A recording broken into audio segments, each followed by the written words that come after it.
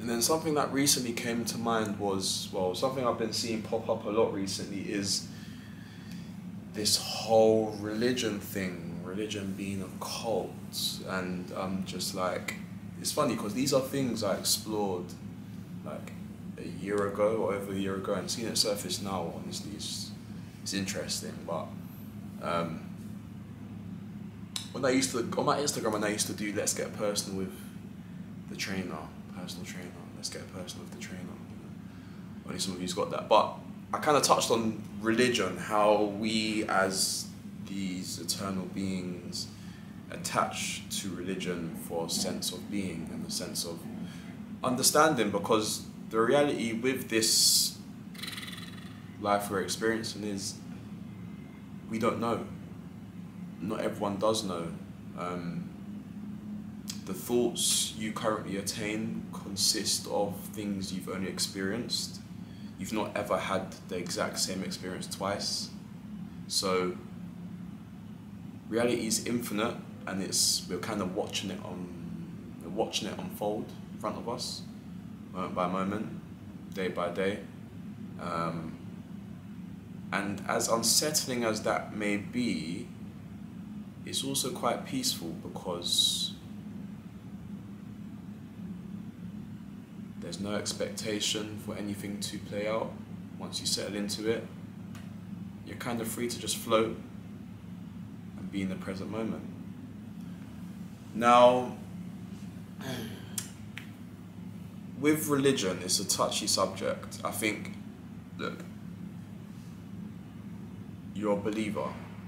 Any religion you choose to abide to or adhere to, you believe. Now, you believe in what you don't know. Because if you knew, you would know. But because there's that room for skepticism, skepticism, or it's just not certain, you're therefore a believer, you're believing in what you don't know. So, I mean, in life, everyone's got their own experiences, everyone's got their own paths. Um, I guess the issue is when it comes to the point where one is now imposing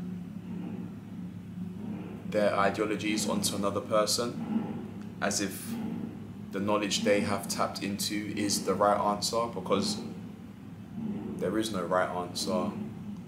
There is no wrong or right way to praise God.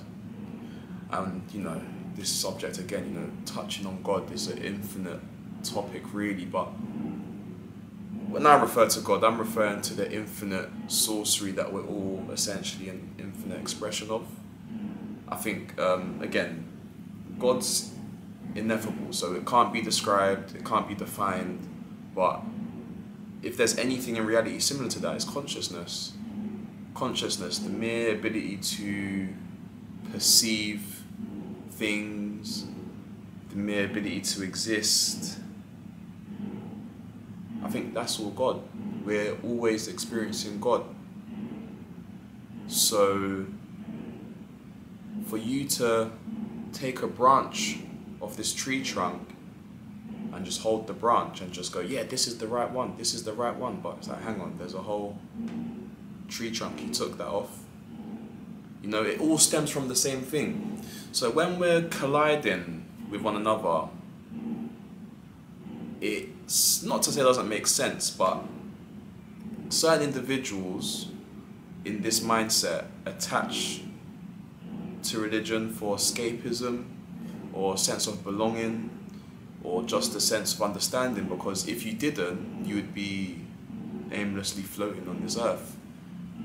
Now, that sounds quite daunting, but once you become one with that and reality, it's quite freeing. It's quite freeing. Um, and then it's like it's been it's been weird because a lot of people have questioned, oh Clive, are you atheist? Are you what's your what do you believe in? I'm like, yeah, I'm not I'm not I've come from I've come from a Christian background, come from a Christian family and I do agree with the Christian beliefs. But I think anything in reality we've been presented to perceive is an extension of God anyway. So,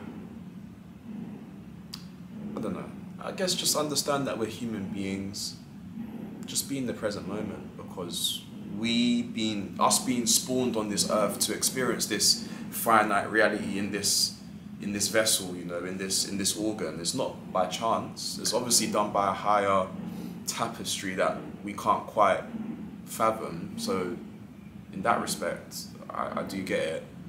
But then when it comes down to surface level things like, you know, you've all essentially taken two branches of a tree and you're like, oh, this branch is better. It's like, no, this branch is better.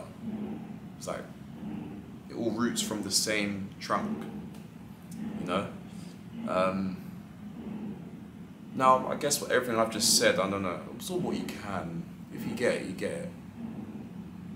But if not, I don't know, I'll be happy to develop or expand on any loops I might have potentially created there, but yeah. One life, man. One life, or life actually continues. I don't think. We think we're so important, don't we? Like, life takes place after us when we leave this earth. Life took place before we came to this earth. So, this one fragment of reality we're experiencing, we attach to it so dearly and we run with it, we identify with it. And it's like, understandably so. You know, it's this for that reassurance, that sense of reassurance. You know, kind of give yourself this end goal, this purpose. But the purpose to reality is just to be where you are right now and experience it wholeheartedly, wholesomely, abrasively. I don't know how to describe it, but I guess that's that's God, isn't it? He's undescribable. So, and I guess this is what I was trying to kind of get at, where with this whole like youth churches being a cult and whatnot. Look, reality is this infinite spectrum, and on this spectrum, infinite potential, right? All possibilities exist.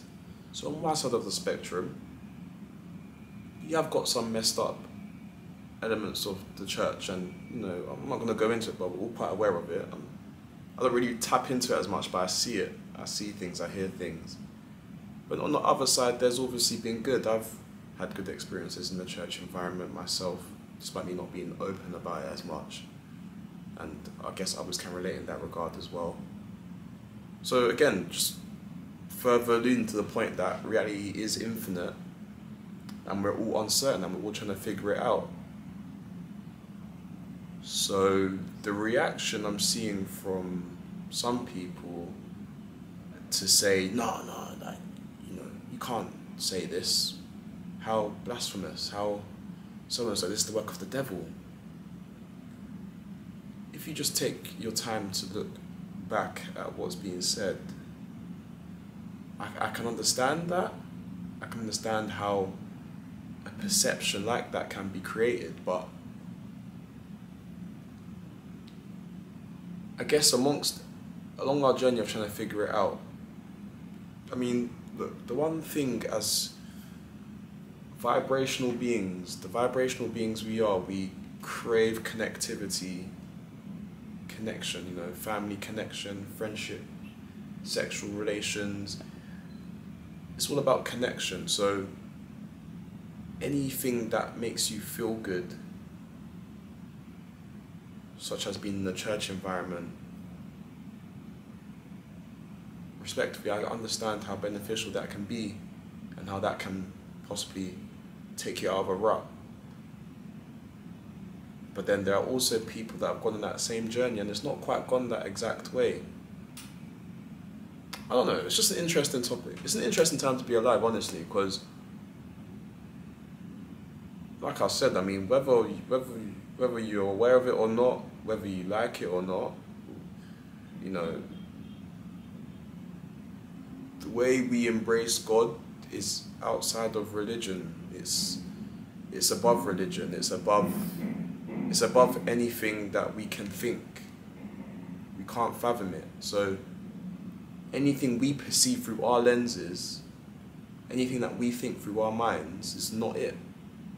It's just not it. It's it's what we think it could be, to keep us grounded and you know kind of go that.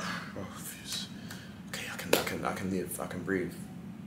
Because if we walked around like intensely sensitive to the awareness that we are just on this floating ball in the middle of nothing, we'll go crazy. This is where most mental health derives from, and most drugs take you to this mind space. And you know, many things come into it, but uh, I guess it's how we perceive things, really, innit?